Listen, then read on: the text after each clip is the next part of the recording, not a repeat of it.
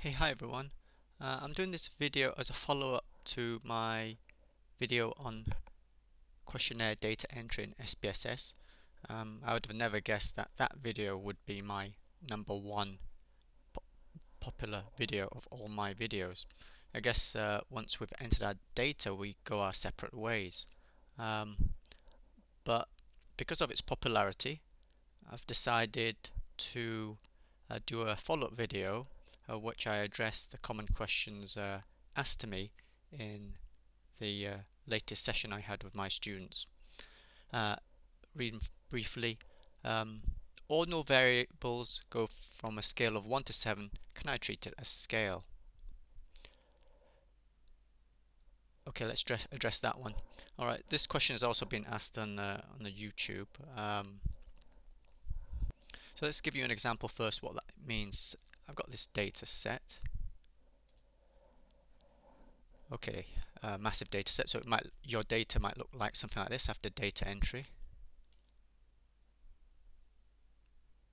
And yeah, let's have a look. So I've got here level of education of father. So it goes from primary education, basic, secondary, vocational, blah blah, and it's quite a, well in this case it goes to the scale of one of uh, up to six. Okay. Now so this is ordinal because there is an ordering of the data here. Here it's uh, the numbers, as the numbers increase it means that they've got higher level of education. But it's ordinal. The thing is when you have an ordinal variable, an ordinal variable is a bit like a Jekyll and Hyde thing, so it can take on, sometimes it takes on the, it can act more like a, um, a categorical variable, and sometimes it can be used as a continuous variable. It really depends, as I told my students, all depends on what type of analysis you want to do. How is it going to enter your analysis? Um, in regression, if you're going to if you have an ordinal variable you want to use as a dependent variable, and that ordinal variable has a long scale, say 5 or greater than 5, you can pretty much treat it as scale. Alright, in other words, continuous. Um, and if you need a bit more information we can treat it as what I call interval uh, variable interval type. Okay? So basically the longer the scale the more kind of um, acceptable it is to be able to treat it as continuous.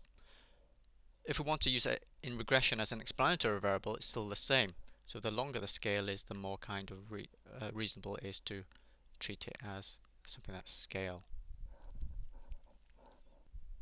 However, if you've got something which has got a long scale, um, say you've got a Likert scale from 1 to 7 or even 1 to 10, um, it's plausible that you will have maybe many values uh, which take a very small number of uh, of observations. In other words, you'll get many boxes which are not ticked because your scale is so long. So you can imagine if you've got a scale from 1 to 10, uh, a lot of people might take close to 1 or high values like 8, 9, 10 but miss out the middle values.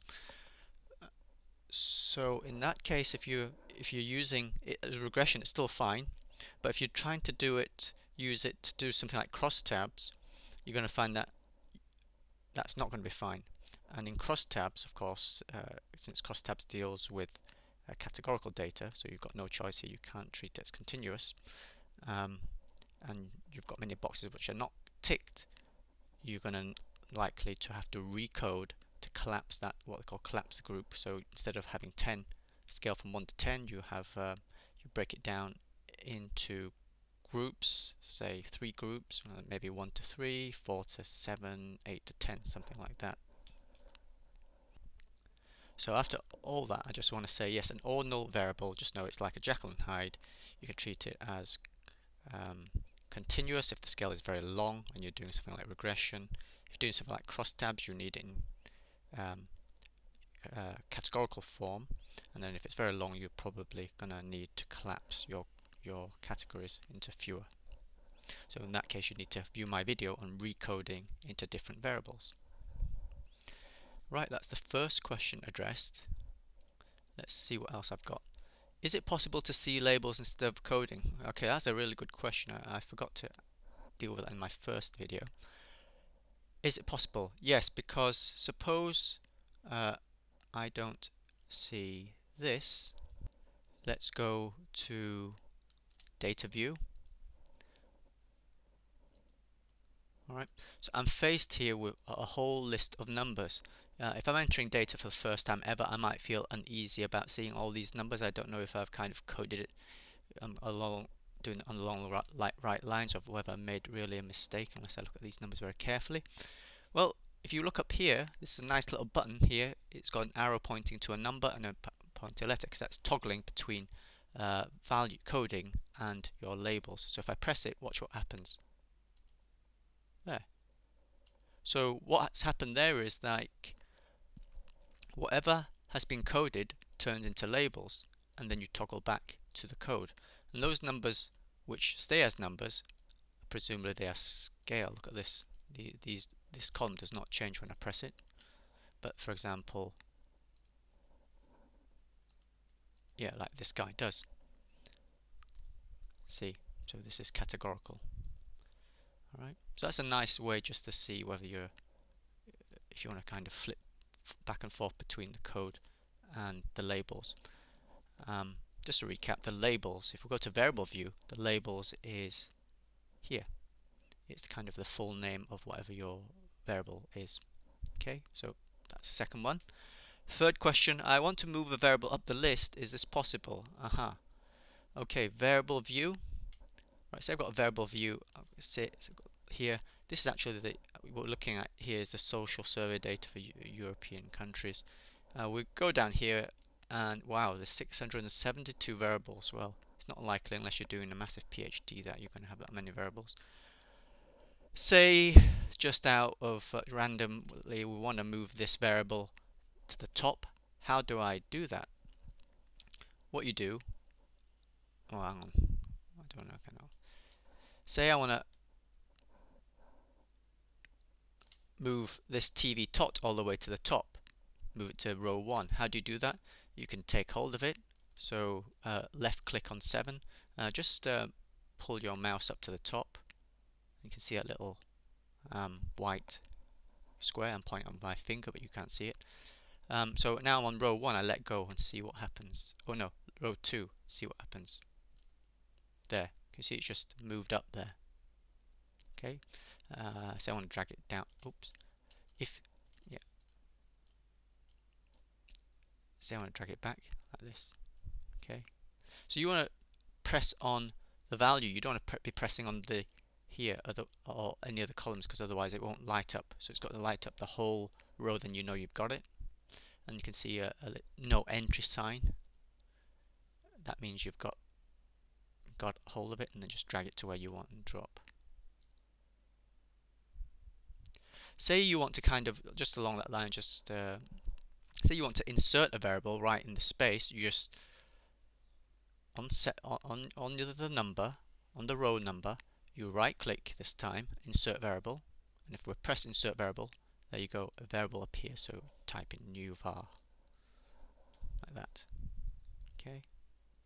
I want to undo that, so I right click and I uh, clear. Good. Right, next. I have loads of variables. Is there a quicker way to reach the data entry for my variables?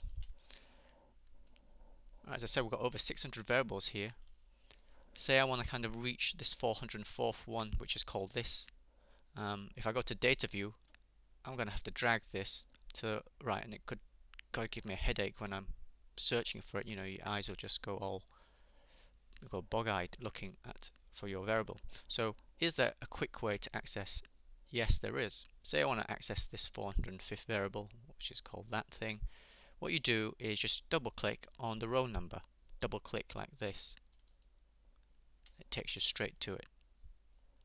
See, and that's for any variable. I'll do it for another one. Bit like magic, this. Uh, say this one. IOACPTP. Double click. Takes me straight there. Okay, so that's a nice feature. I'm using data that's more than one type of missing value. Please explain. Aha. Okay, final question. Uh, re recall in that video I to you about missing values. In that video, I taught you just how to enter a missing value. You know, I said enter something like in the, where it's radio button, click here, type 999, okay, and then that's fine. But here, why have you got range plus one optimal discrete missing values? What on earth does it mean? Low 77 to high 99. Well, this means that any value, they've done this because they're saying that any value they code as between 77 and 99 will be classified as missing. So you might be saying, why on earth have we would would we need to have so many different types of missing values? Because surely a missing value is missing. Yes, you can. You can. That that's a that's a sensible answer, and that's um, would be an acceptable answer. You don't need to have several entries. Eh, you don't have to kind of distinguish between all the missing types. But let's see what what they've done here. Alright, because they've got these types because 77 they're saying is refusal to answer the question. 88 meaning don't know. 99 meaning no answer. So when we're doing our, in the first video when I showed you how to just do a missing value, we, we, we meant it as you no, there's no entry, no answer for whatever reason. But they've kind of broken it down. Um, I mean, I don't know why you would need to do this. It's, uh, it, it just gives it just gives more um, it just gives you more work. So typically you don't need to do this. You know, I I I, um, I don't see any reason to kind of uh, split it down to various groups, but just know that they'll all be classified as missing. So in any analysis, don't worry, it won't enter 77 or 88 uh, into your into your uh, into your analysis.